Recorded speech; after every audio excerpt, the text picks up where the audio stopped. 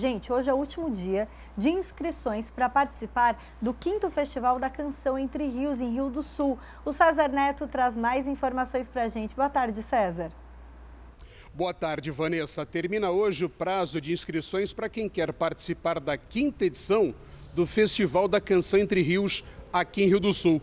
Ao meu lado está o Rodrigo Pedroso, ele que é superintendente da Fundação Cultural aqui de Rio do Sul. Rodrigo, boa tarde. O prazo para inscrição termina hoje, mas o festival começa quando? Boa tarde, César, Vanessa, todos que estão assistindo. É, então, se a gente for analisar, utilizando a, a data de pré-curadoria, é amanhã. Amanhã já começa o festival com a análise dos vídeos, né?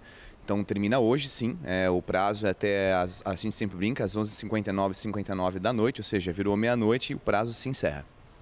Quantas pessoas devem participar desse festival? Qual que é a tua expectativa? É, nós tivemos um número interessante de inscrições ano passado, 140 inscrições né, no, no seu total.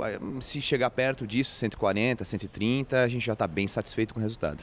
O objetivo é dar oportunidade para os novos músicos aqui da região. Não só da região, mas do estado inteiro, né? A, a ideia é fazer com que o Rio do Sul se insira no cenário estadual da música também, é, mas dar oportunidade para as pessoas, para os músicos da região, do estado inteiro, nas cinco categorias que a gente deixou aberta para inscrição. Quais categorias estariam em disputa? Nós temos na quinta-feira o infantil e juvenil, duas categorias. Na sexta-feira nós temos as, as categorias de interpretação nacional e internacional.